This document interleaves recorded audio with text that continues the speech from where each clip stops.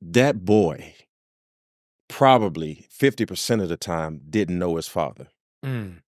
So when he meets another man or another father figure or another mentor, he's coming into the relationship like, you gonna leave me too? Mm. Like, like if I get close to you, Right. Like can I trust you all the way to the end? Because we got abandonment issues. Yeah. Okay. So I'm trying to protect myself from being abandoned. Yeah. So it would appear that the love isn't lazy. It would appear that I'm being protective. Yeah. But lazy love says, listen, I am going to sit in the seat of my trauma and not do the work to climb out of it. I'm just going to blame you. Mm. I'm just going to blame you. I'm going to blame everybody. I'm going to blame them. And that's safe for me because blame gives me cover. Yeah. Blame gives me the ability to not grow and still show up at the table the same way I was last time. And if I keep blaming you, we'll keep looking at the person or the people who you're blaming.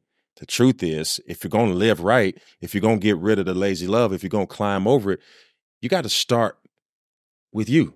Yeah. And, and and that sounds so easy, don't it? Like it's Yeah. like easier said than done, Right. but it's the truth no matter how hard it is. No, that's Okay. true. And if I'm going to love you, if I'm going to love you, if you're going to be my brother, and I figure out how I'm going to deal with you as my brother, I got to know a couple things. I got to know number one, this is the son of a prominent man of God.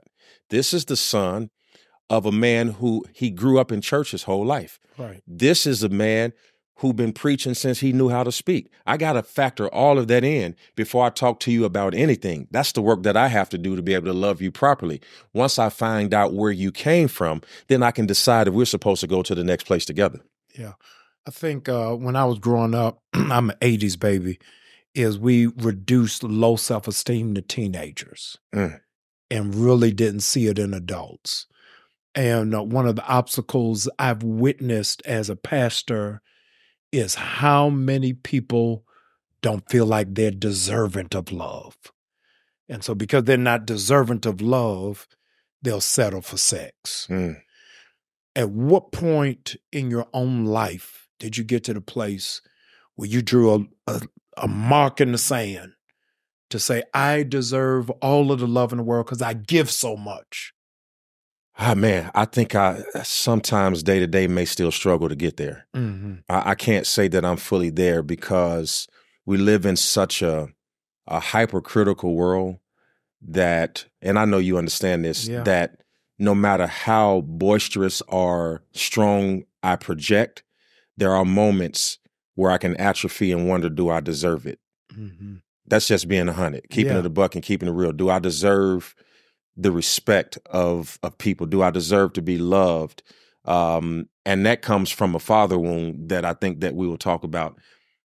But then on the other hand, I do know that I've given so much that I deserve it because whatever man sows, that shall he also reap. Yes. Like if I'm giving it out, Right. why should I be avoidant, which is another attachment style, Yeah. when I'm receiving it? Well, this is what makes the book so palatable, is because here you are talking to a person who studies the word of God, understands love languages, understands love styles, attachment styles, and still yet has the issue Yeah. right? And so now I'll battle with it, but then sometimes, you know, oxymoron, I'll be ready for the challenge and I deserve it and where it's at. And then when it comes, you know, so yeah, I'm I'm in there. I'm I'm in there just like everybody else. Um and and still trying to figure it out. I I, I guess that's the best way I can answer it. No, that's that's solid.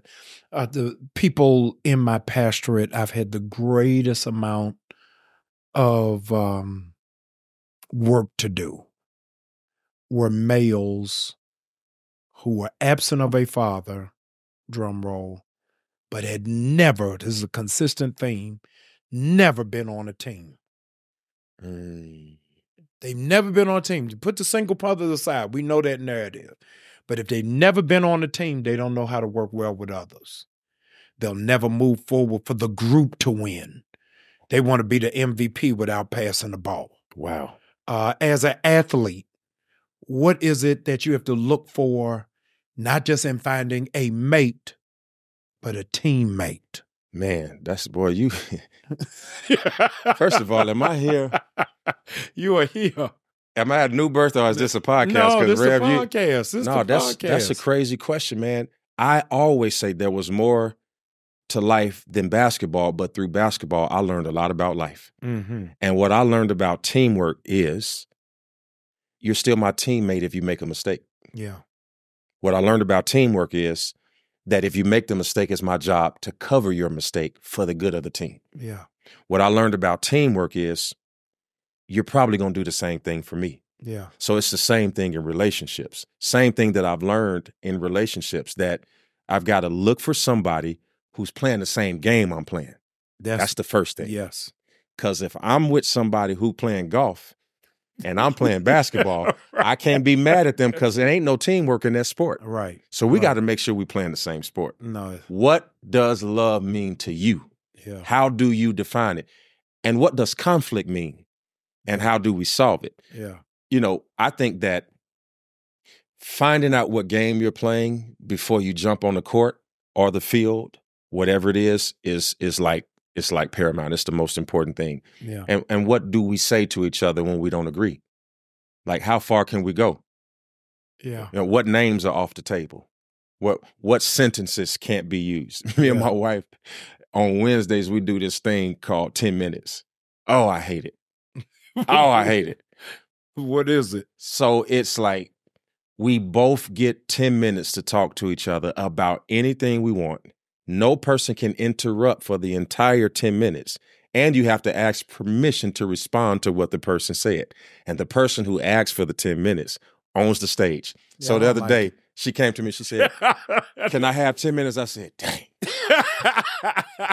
what I done did now. right. And it was all good. Wow.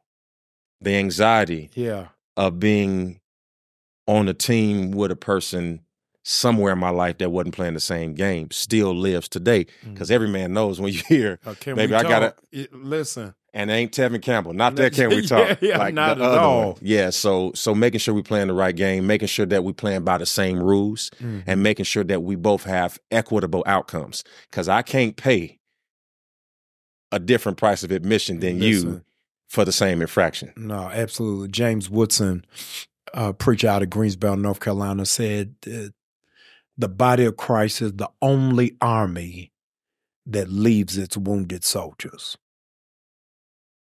And when you talk about being on the same team, you have witnessed it, I've witnessed it. And David said, It's the silence of my friends.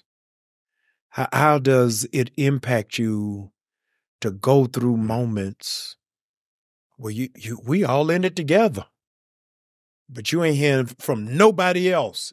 Y'all see them out here, person. Y'all nobody got nothing to say. Wh- wh- where's Yeah. where's the defensive end? Yeah. And and it and it frustrates me because and you can attest to this. Yeah. I ain't never silent when none of my friends go Hey, through nothing. listen.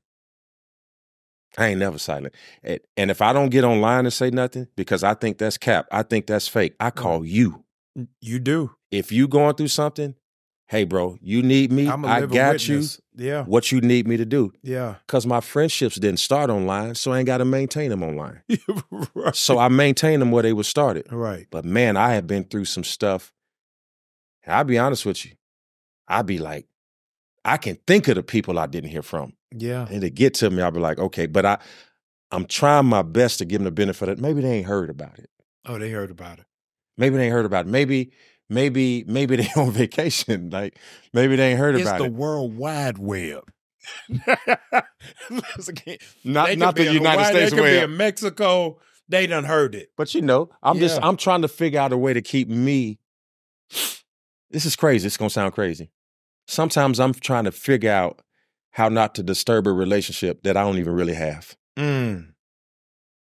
Like I I know that's that's a me thing. Yeah. I'm I'm literally trying to figure out how not to blow up a relationship that if I really really dig deep and think about it, Right. I don't even really have it.